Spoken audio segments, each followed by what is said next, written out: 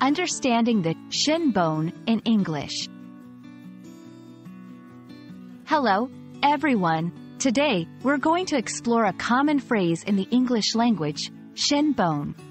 Whether you're a language learner or just curious about English phrases, understanding the parts of the body can be incredibly useful. So let's dive in and uncover the meaning behind the shin bone. The shin bone is actually a term people use to refer to the tibia. The tibia is the larger and stronger of the two bones in the lower leg, the other being the fibula.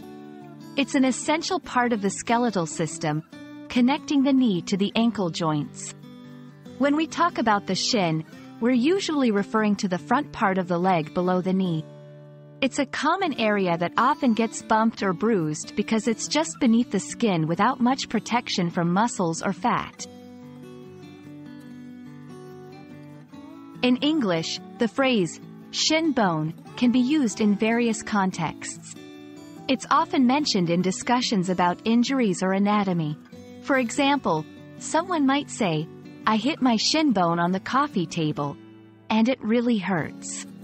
It can also come up in more scientific or medical discussions, although in those cases, tibia is more commonly used. The shin bone can sometimes feature in English idioms and expressions.